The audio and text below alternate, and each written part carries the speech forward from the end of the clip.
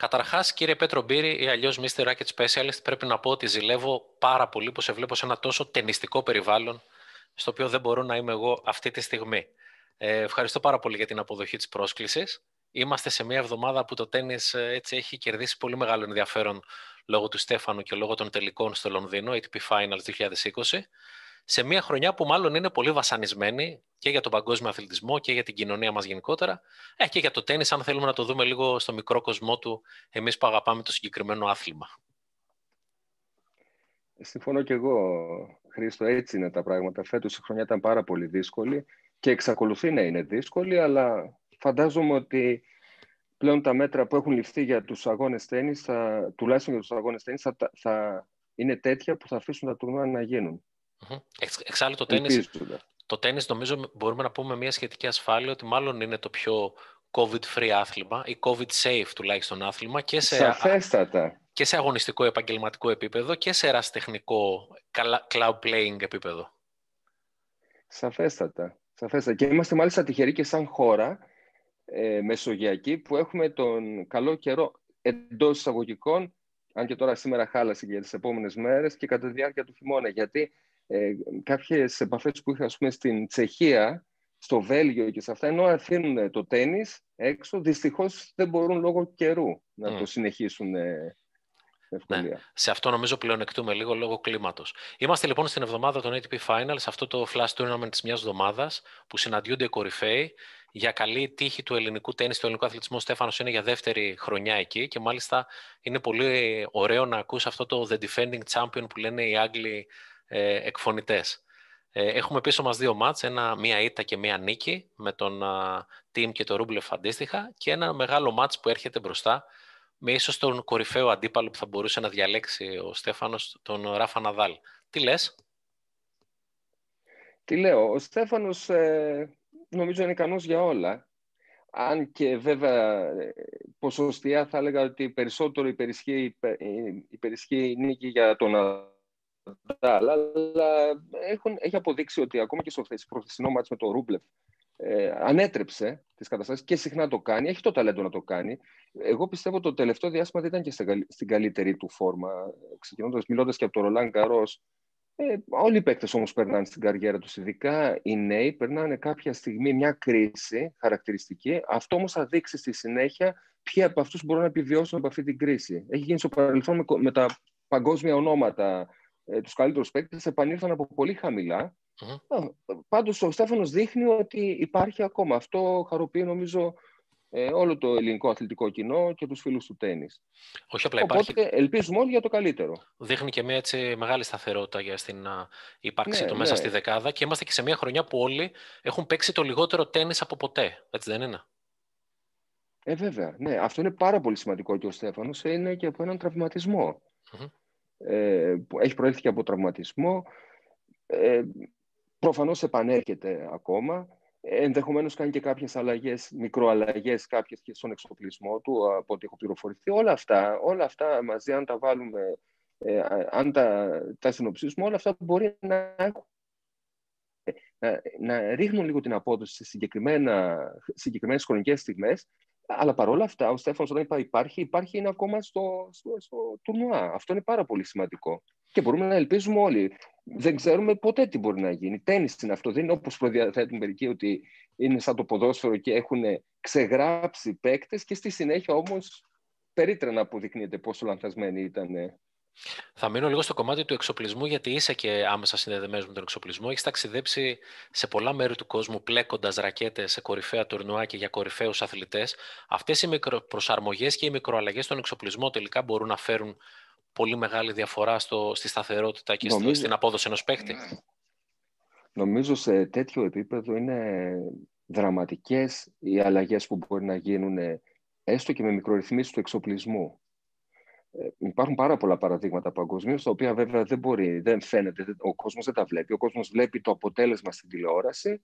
Από πίσω όμως δουλεύει μια ομάδα ανθρώπων από το τομέα της ψυχολογίας, ε, το, το τομέα της ε, προπόνησης εκτός γηπέδου, ακόμα και στο πλέξιμο που δυστυχώς ε, δεν θεωρείται ακόμα ε, μια υπηρεσία στα μάτια ίσως των διοργανωτών ε, πολύ σημαντική και αυτό το λέω γιατί ουδέποτε ας πούμε παρευρέθη, ε, παρευρέθηκε ένας εκ της ομάδας ή ομάδας στους τελικούς όπως είναι τα ball boys και αυτά. Παρόλα αυτά θεωρείται σίγουρα ε, για μένα τουλάχιστον και για αυτούς που γνωρίζουν πιο σημαντική υπηρεσία σε ένα μεγάλο τουρνουά. Ε, σίγουρα μπορεί να σας... Πιο σημαντική... Μπορεί να μην σας χαιρετάνε ναι. ο πρίγκιπας και η πριγκίπισσα στο Wimbledon ή τέλος πάντων ε, η ναι. επίσημη στα άλλα τουρνουά, αλλά νομίζω οι παίκτες κρέμονται πάρα πολύ από εσάς και από την υπηρεσία και από την προσαρμογή που κάνετε στη ρακέτα τους. Ναι, ναι, είναι, είναι πολύ σημαντικό και οι σχέσεις μεταξύ των stringers, όπως λέγονται ας πούμε, στην ε, ε διεθνή ταινιστική γλώσσα, ε, είναι μια, όπως είπα, είναι μια σημαντική υπηρεσία. Οι παίκτες το γνωρίζουν αυτό πάρα πολύ καλά και έχουμε και πολύ καλές σχέσεις με αυτούς, γιατί οπωσδήποτε είμαστε απολύτως απαραίτητοι. Ε, για να, για να πω, δεν ξέρω αν πρέπει να το πω τώρα, για να πω για το Ρολάν Γκαρός κάτι το οποίο ε, δεν είχε ακουστεί, αλλά το πήρα και εγώ από έναν τίτλο και το, το ίδιο πράγμα σκεφτόμουν.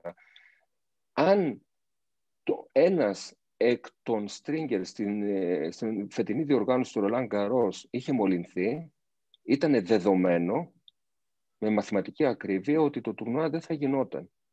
Ναι. Θα είχε σταματήσει. Γιατί δεν θα μπορούσαν οι παίκτες να έχουν ρακέτες. Αντικαταστάτες δεν υπάρχουν, για, γιατί μιλάμε για ένα αριθμό 22 ανθρώπων τώρα. 22 θα μπαίναν σε καραντίνα, θα έκλειναν τα πάντα, οπότε το τουρνουά θα έπαβε για τεχνικούς λόγους. Ε, να σου κάνω μια ερώτηση. Φέτος που ήταν αυτή η περίεργη χρονιά, έλαβες πολλές προσκλήσεις, φαντάζομαι, και πολλές αναπροσαρμογές των προσκλήσεων αυτών.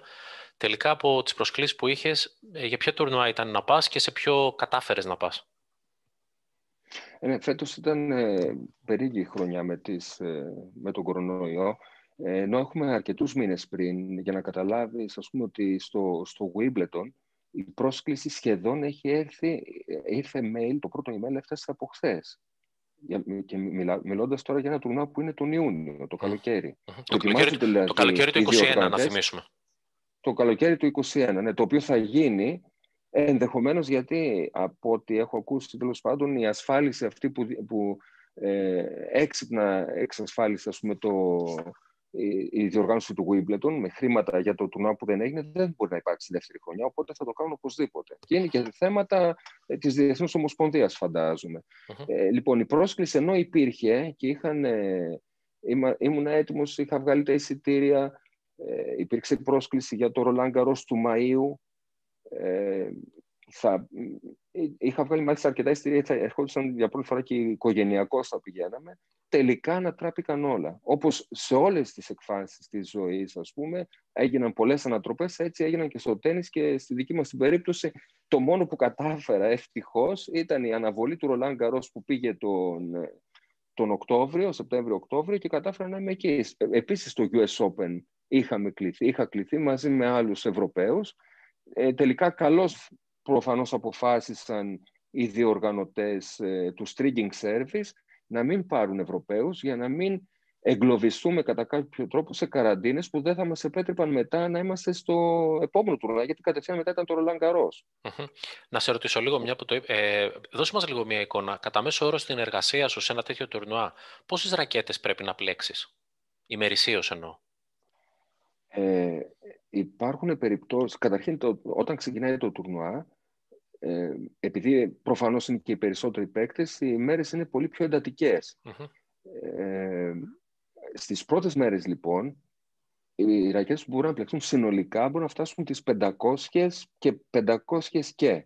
Που σημαίνει αυτό, αν διαιρεθούν ε, για έναν αριθμό ατόμων για, για 20 άτομα, σε μερικά τουρνουά μπορεί να είναι 16, εμείς ήμασταν 22 για λόγους ε, στο Ρολάν Καρός, αντιστοιχούν, μπορεί να αντιστοιχούν ας πούμε, από 25 έως 35 ρακέτες, 37-40.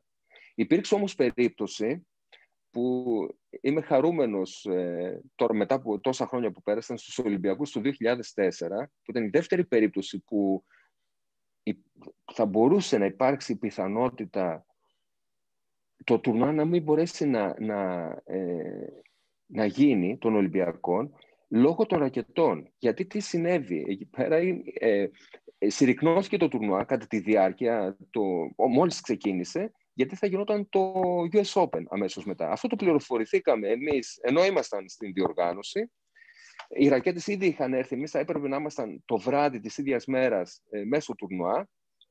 Ε, Όμως έπρεπε να μπουν τα σκυλιά, να ελέγξουν για βόμβες, να σφραγιστούν όλοι οι χώροι. Εμείς τους παρακαλέσαμε ότι πρέπει να γίνουν οι ρακέτες των παιχτών. Δεν γίνεται αλλιώς. Αυτοί δεν καταλαβαίνανε τέλος πάντων τη security. Βγήκαμε έξω την επόμενη μέρα λοιπόν. Φτάσαμε να φτιάχνουμε ρακέτες που βέβαια για 37 ώρες non-stop, χωρίς διάλειμμα, 37 ώρες ασταμάτητα, για να φτάσουμε τον αριθμό των 75 ρακετών. Αλλιώς το τουρνά δεν θα γινόταν. Είναι φοβερό αυτό το πράγμα. Δηλαδή το συνειδητοποιώ ε, όλα αυτά τα χρόνια. Το τι θα μπορούσε να έχει συμβεί ήταν άθλος. Πραγματικά 37 ώρες χωρίς, με 15 λεπτά ύπνου ο καθένας. Ε, δώσε μας και μία τάξη μεγέθους να καταλάβουμε πόση ώρα μπορεί να κάνει σε έναν επαγγελματία στρίγκερ να πλέξει τη ρακέτα.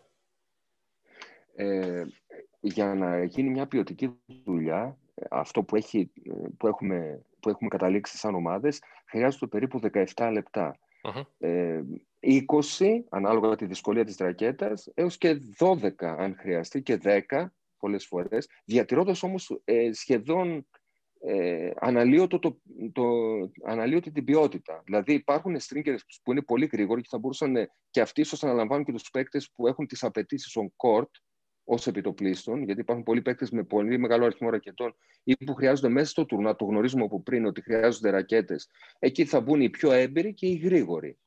Ε, λοιπόν, μια μέση τάξη μεγέθους είναι γύρω στα 15 λεπτά. Στο US Open συγκεκριμένα, είχαμε η διοργάνωση, η USTA, δηλαδή η Ομοσπονδία της Αμερικής, απαιτούσε από την ομάδα του streaming service να παραδίδει τους χρόνους από τη στιγμή που έφερνε ο παίκτης ή το ball boy έφερνε τη ρακέτα, για, μιλάμε για τις καταστάσεις που ήταν η ρακέτα έπρεπε να ετοιμαστεί μέσα στο γήπεδο, θα, υπήρχε χρονομέτρηση λοιπόν από τη στιγμή που έγινε, γινόταν η παράδοση της ρακέτας μέχρι τη στιγμή που θα έβγαινε και θα την παραλάμβανε το ball boy στα χέρια του για να την πάει στο γήπεδο. Αυτή ήταν η δική μας υποχρέωση να παρελειφθεί η ρακέτα στο συντομότερο χρόνο γιατί στο παρελθόν, σε άλλα τουρνουά μικρότερου βεληνικού, υπήρχαν προβλήματα που παίκτες μπορούσαν να χάσουν ακόμα και το μάτς λόγω καθυστέρησης της παραλαβής της ρακέτας.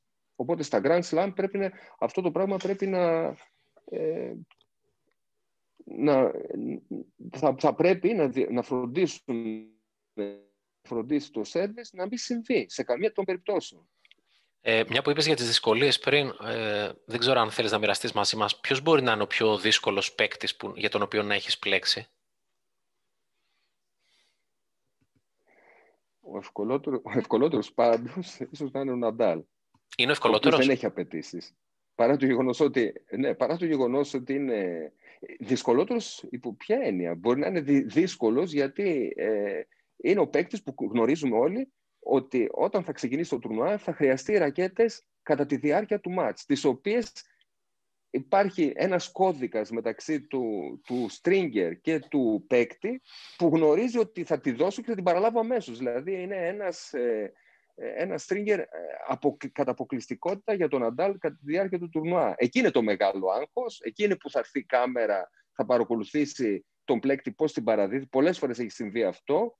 Ε, Απ' την άλλη μεριά δεν είναι απαιτητικός, ε, δεν έχει απαιτήσεις ιδιαίτερες. Δηλαδή δεν ζητάει κάτι ε, ε, πολύ εξειδικευμένο. Ε, είναι εύκολος, είναι καλός χαρακτήρας, δεν έχουμε κανένα πρόβλημα. Δύσκολοι τώρα παίκτες υπάρχουν αρκετοί στο tour. Τώρα να πούμε ονόματα, ίσως να μην είναι και σωστό. Είναι δύσκολη, ε, είναι δύσκολη για τις προδιαγραφές που βάζουν στη ρακέτα ή γιατί είναι λίγο δύστροποι ως χαρακτήρες; Δίστροπη, δίστροπη, καθαρά ε, ε, δίστροπη. Πες μας, συγκεκριμένα... πες, πες μας έναν και ας ναι. έχει σταματήσει αν σου είναι πιο εύκολο. όχι, όχι, μπορώ να πω ότι είναι γυναίκα, είναι μια γυναίκα τέλος πάντων, μια κοπέλα η οποία ε, στην ήττα της θα αποδώσει την ευθύνη, ο μπαμπάς μάλιστα, ε, στο σερβις. Όλο κάτι του φταίει. Ενώ εμείς ξέρουμε βέβαια γίνονται όλα τα, τα τεστ ποιοτικά, πριν φύγει η ρακέτα ξέρουμε είναι μετρημένες ε, ε, στην τάση τους να, να μην έχουν ε, ξεφύγει από την τάση. Παρ' όλα αυτά υπάρχουν κάποιοι παίκτες, ίσως να μην είναι σωστό να λέμε και ονόματα. Δεν θέλω μα, μα δεν μας λες. Εγώ, υπάρχουν, εγώ υπάρχουν... θέλω πώς και πώς να μας πεις ναι. ένα όνομα και εσύ δεν μας λες. μας είπες μόνο την okay. καλή περίπτωση του Ράφα Ναδάλ. Okay. Ναι, ίσως για καλά πρέπει να μιλάμε και όχι για κακά. Θα, σεβασ... θα σεβαστώ είναι, το... Υπάρχουν, υπάρχουν κάποιοι δύσκολοι. Θα σεβαστώ το επαγγελματικό... Να, πω, να, να, πω, ας πούμε, να ξεφύγω, να, να, ξεφύγω λίγο από αυτό και να πω μια περίπτωση ε, παίκτη. Α, το θέμα δεν θυμάμαι το όνομα σε αυτή την περίπτωση, αλλά να σου πω για την περιέργεια του παίκτη. Λοιπόν, τι έκανε αυτός, μας είχε καλέσει στο σερβις, ε, είχε βάλει τη ρακέτα. Μας είπε ότι για να δω τα κιλά, λέει, δεν μπορώ να έρθω εκεί πέρα. Ε, βάλτε τη ρακέτα κοντά στο τηλέφωνο, χτυπήστε τη ρακέτα και θα, θα πω εγώ. Δηλαδή αυτός ηχητικά καταλάβαινε, όπως και εμείς θα καταλαβαίνουμε βέβαια, την τάση και λέει: Πέστε μισό κιλό.